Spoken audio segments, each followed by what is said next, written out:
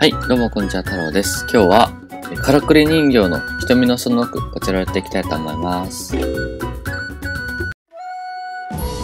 ノキオですね。何があったんでしょうか。えーと、遊び方見ましょう。わかるかな以前とは異なるピノキオの倉庫を訪れた一行、君をかきつけると、そこでは機械の巨人を相手に人形師のドーロットとその人形フランベイユが戦っていた。探知犬の反応から巨人がカオステラーであると判断した一行は戦いを挑む。よいしょ。人形ですね。レベルがアップ。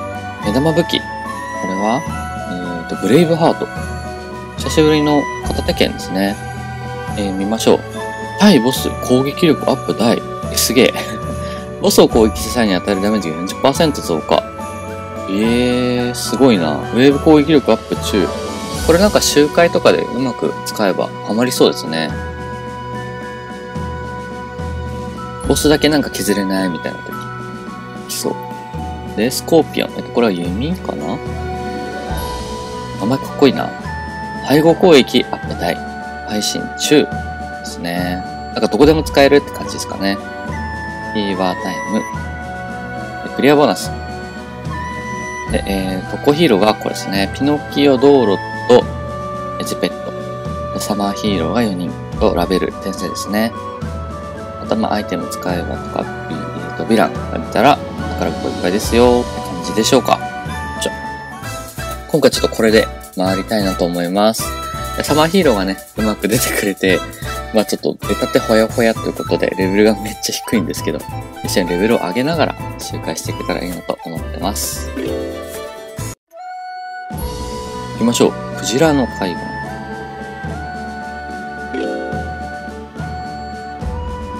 謎の巨大ロボット。シンボルそれは試練を乗り越えた英雄たちの奇跡を象徴するアイテム人々は形あるシンボルに憧れを抱きそこに英雄たちの物語を見出すここね、読んでほしいよね、ちょっと。だからこそ汚れたシンボルは浄化しなければなりませんだってここ読むんなら、みたいな。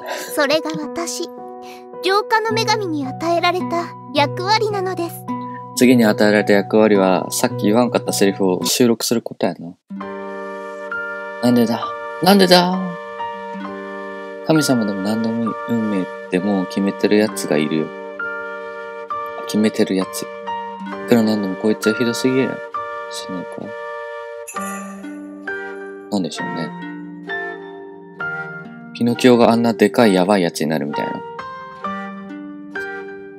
ならこっちもあがいてやろうじゃねえか。どんな運命にも負けないものを、この俺が生み出してやる。待ってるよ、ピノキオ。あ、シェインがいますね。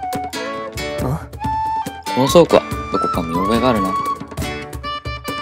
うわー、なんか、いいね。クジラか。ってことは、ピノキオの倉庫ってことですか？おそらく。興味深いね以前我々が訪れた倉庫とは異なるようだな。わかるんですか？あの岬の向こう、地形がわずかに異なる。これは別のピノキオの倉庫なんだろう。出たこの地形しっかり見てる人、すごいなと思います。俺だったら絶対気づかん。わずかな緑があれば、その倉庫に引き寄せられるが。あ、円か。わずかな円ね。ドイツの倉庫に戻ってしまうことは意外に少ない。ああ、そういうことか。確かに、本当に以前来た倉庫だったっていうことはさ、稀だけどあったけど、確かに稀だったね。お？年齢は聞くな。いいな。年齢は聞くな。懐かしい。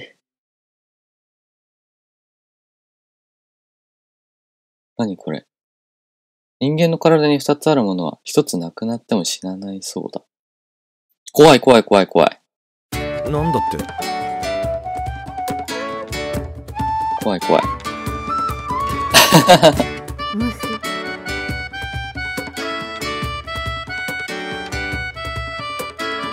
え、そんなことがあったんですか？シェインおばさん。怒られる。こんなこと言ったら、俺もどっちかなくなっちゃうわ。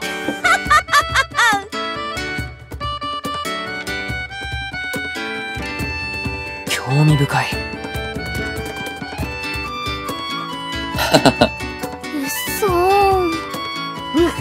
いや、エレナもトイレ行けなくなっちゃうよ、これ。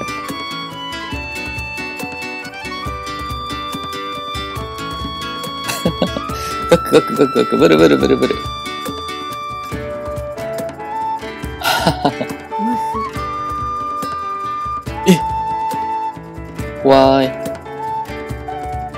ちょっといいかなおい、やめろ。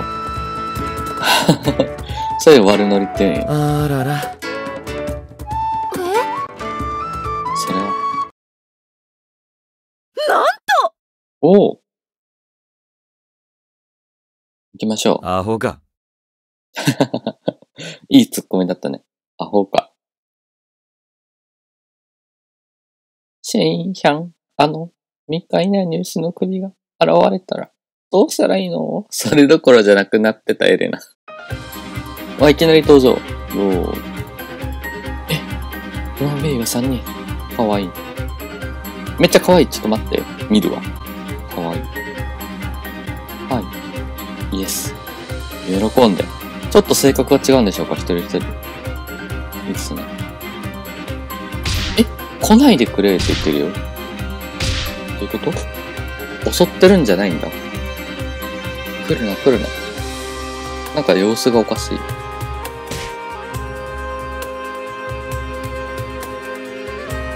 行かなきゃいいんじゃない？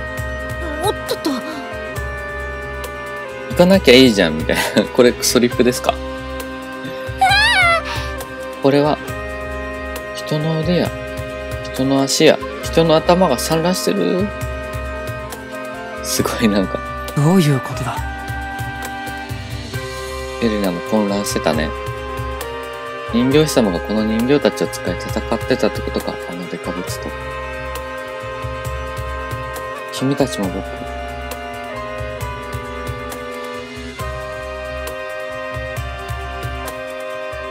そうだね。よく頑張ったね。もう大丈夫だよ行きま。しょう。いやーあのね、X 君当ててから、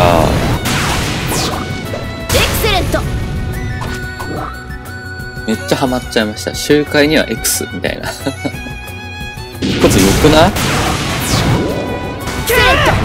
フラムベイギーあれやな。意外とたまるね。エクセレント桃太郎のおかげなのかな来ました。多分瞬殺でしょうけど。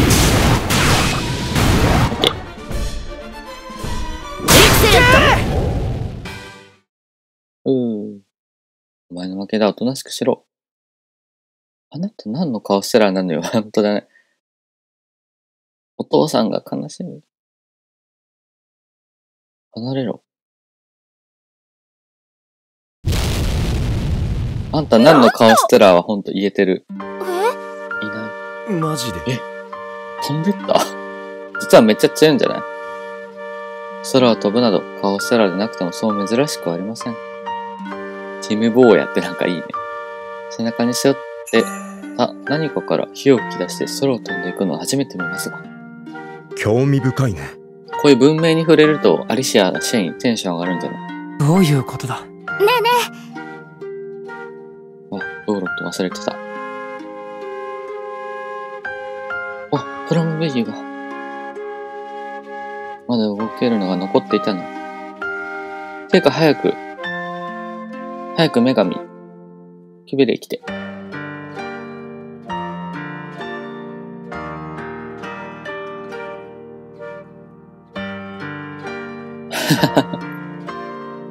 アホか。俺だったら触ったかもしれっと失ない。礼。何するんでしょう。彼女らを、あー、プラムベイユかな。え合点承知です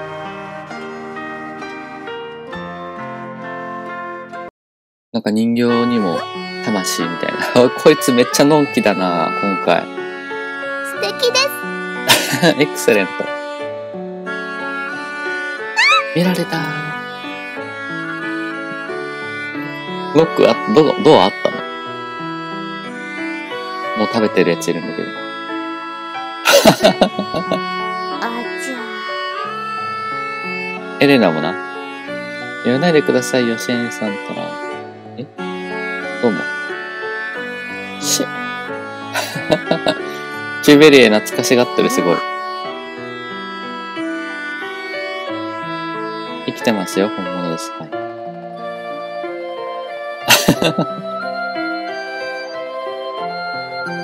めっちゃ大人だ、シェーンが。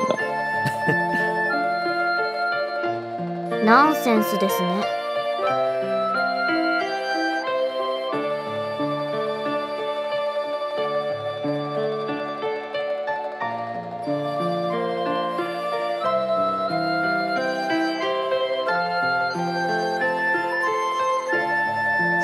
せですよかったね。なんかキュベリこんなに喜ぶんだ。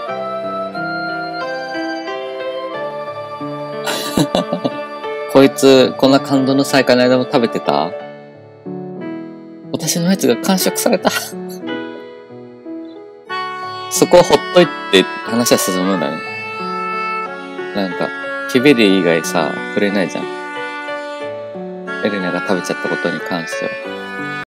そもそもシンボルとはソークの主役を導いてきたこのソークの運命を司る象徴すごい流れで説明入ったな。すごいぞ、こいつ。もう慣れてきたね。どういうパターンで来てもこの説明には持っていけますよ、みたいな。キュベリエの自信。特技。みたいな。履歴書にも書けるレベル。もうこれは。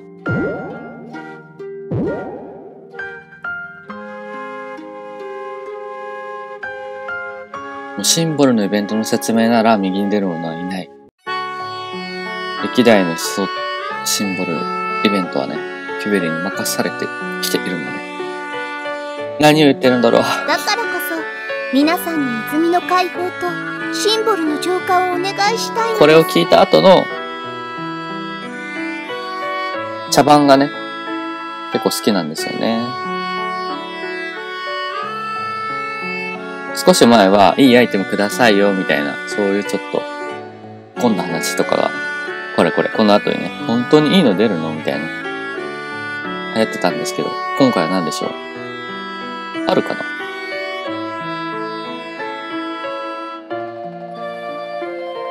おっとっと。今なんて言ったの？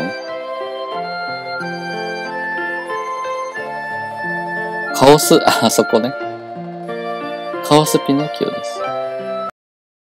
おー。さすがに引くわ。確かに、人形のレベル超えた。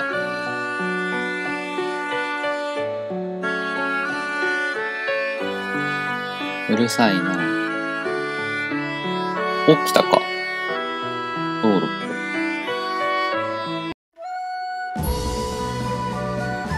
奇跡の原っぱしょう。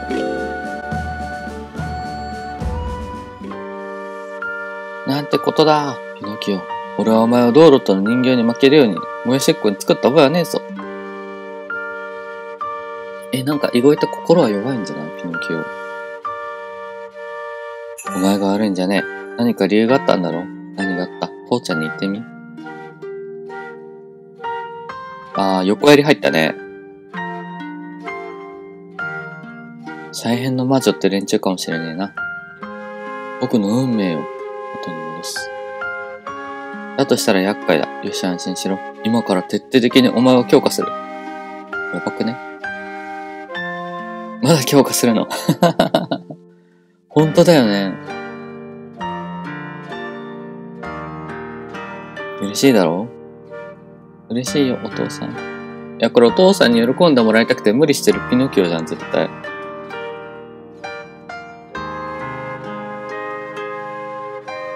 遅れてすまない。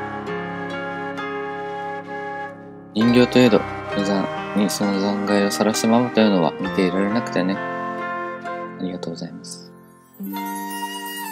随分の慈悲の心を持った男なんだね。そういうつもりはない。ただの自己満足だ。作り手として一応礼は言っておくべきか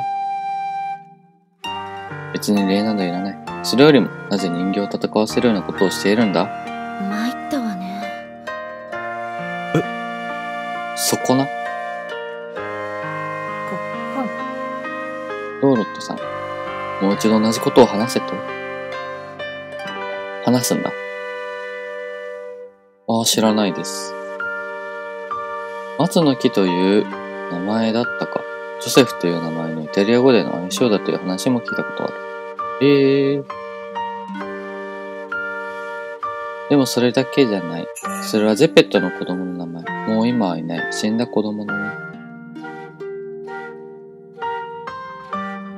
このピノキオの倉庫では、ゼペットは死んだ我が子の代わりに人形を作るのです。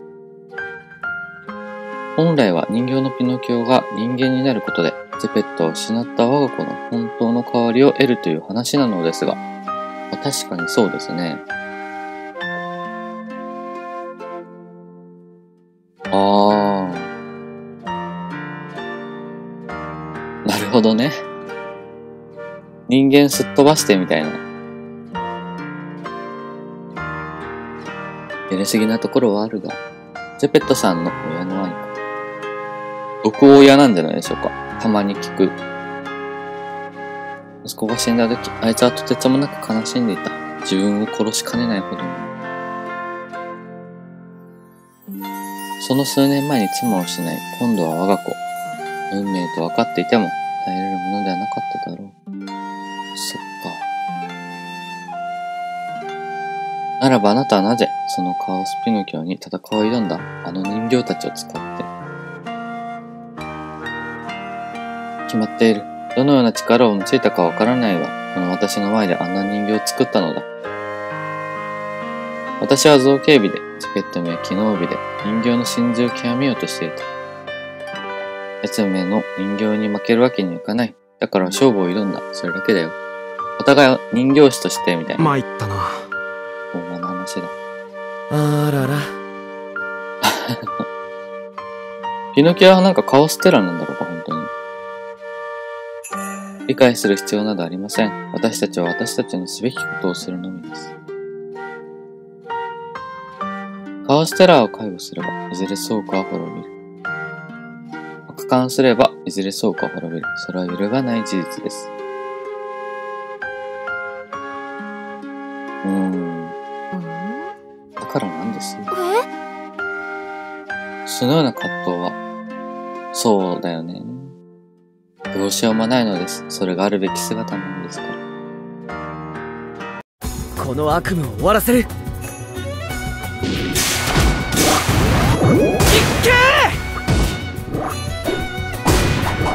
どうなるんでしょう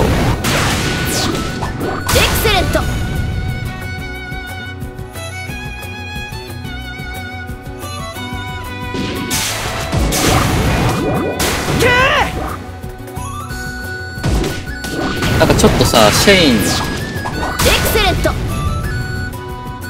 はもうベテランだからなのかな。ノリがちょっと違うというか、もう、葛藤を乗り越えてるよね。いろいろな。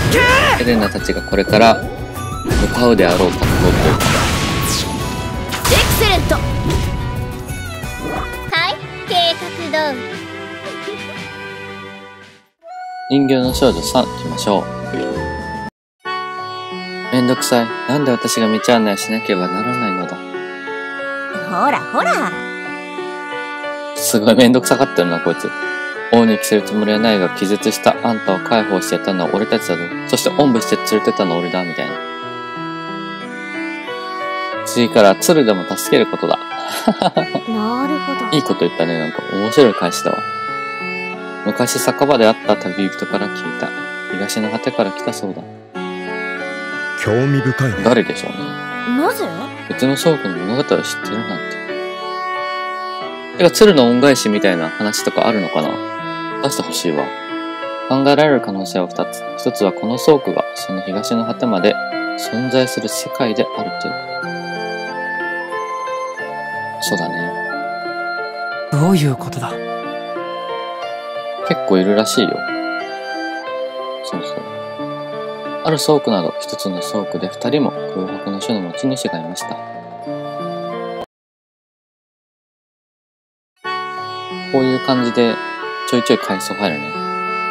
君らが何を言っているのかいまいちよくわからないが、いろいろと興味深い話を聞いた。ゼペットと共にね。志は一緒だったんじゃない？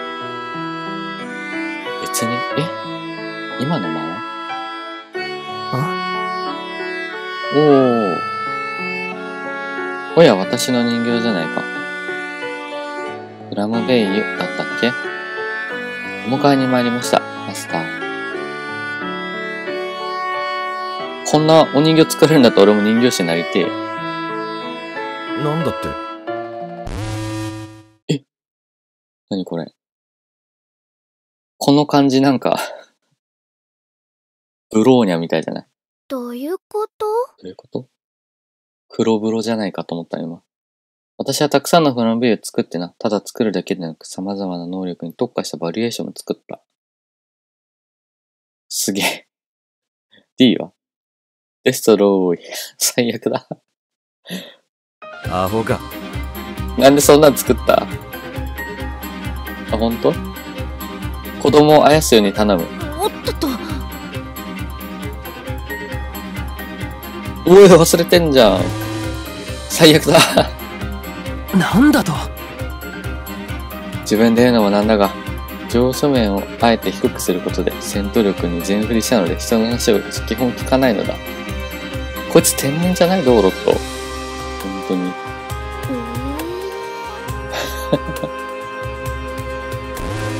エストローイ。最悪だ。よく頑張ったねもう大丈夫だよあ、蒼天がいない。はいそして、ベルが、ベルがなんか立ってる。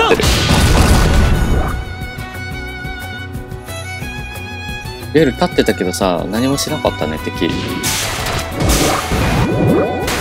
う、蜂とかもさ、刺激を与えなかったら攻撃しないっていうじゃん。あれじゃない？で、揃いモードの、確かフラムベイが敵になるな。正サイドオッケ興奮しすぎて鼻血が出てきたー。いい。なんてこったい残念だよそうあるように作られた家にこんな目に遭うなんて。なんかさ、アニメの最終回らへんさ、こういうロボットいっぱい出てくるよね。参ったわね片手が折れている。無茶な力の使い方をしたからよ。言葉が出ませんね。ああ、思い出した。not guilty。止まった。新潟でもこの程度か。いいデータが取れた。ちょっとこの道路と、さっきの話聞いてた？そうそうそうそう。まあでもちょっとこれぐらいじゃないと人形師になれないのかな。彼女らは何だと思ってるんだ？人形だよ。何を今更？死ぬのではなく、壊れるだけの人形だ。壊れれば、また直せばいいだけの人形だ。おっとっとこの道路との感覚と、他のナンセンスですね主人公たちのね、感覚ちょっと違いますね。なんていうか、ハンターハンターの団長のさ、言ってたあの、なんとかスタンプみたいな思い出せない。壊せと言ったら動くみたいな。これ以上一緒にいても不快な思いするだけだろうしね。君たも、君らも私も。この道をまっすぐ行けば街に着く。街に着けばゼペットの工房を知る者はいくらでもいる以上だ。ブラムベイユ何をしている？イエス、マスター。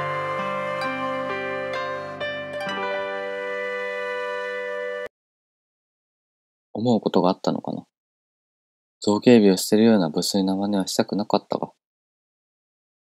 まさかドーロット。ピノキオに対抗してなんか変な人形作るんじゃない？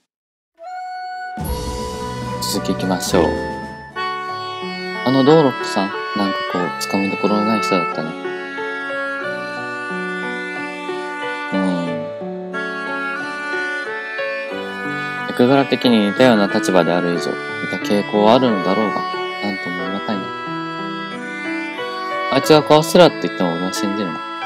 参ったわね。そうだね。らしくない。確かに。カオスピノキは一体何を願ってカオステラになったの？私もよくわからないのです。本当ですよね。あなたはいろいろといつも隠し事をしているので。じーって感じかな。あなたは100年前から同じことをやってるのか？こんなの女神じゃないとやってらんないよな、でも。落ち着いて、もう時効じゃないですか。時効。秘技。鬼ヶ島流。あれだけやめてください。今回は本当に知らないんだね。はい。何せカオスピノキオは生まれる前からカオストラになっていたようで。なんだって？生まれる前から？どういうことなんだろう？本当のカオステラは、そう、俺も思った。興味深いね。最近のパターンね。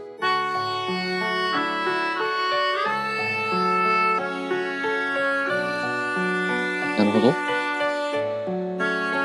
そういったテーマテーマに目にしたことがあります。直球だね。エレナは。あのカオスピノキオ様子がおかしかったし、一度話を聞いてみればいいんじゃないかな。アホか。グッジョブですほーん。本当だよ。中間に入ってくれる交渉人でもいればいいんだけどね。これ、いるんじゃない？それはちょっことれ、キュベリエだったりして。人間以外にはありますが。え？コオロギさん。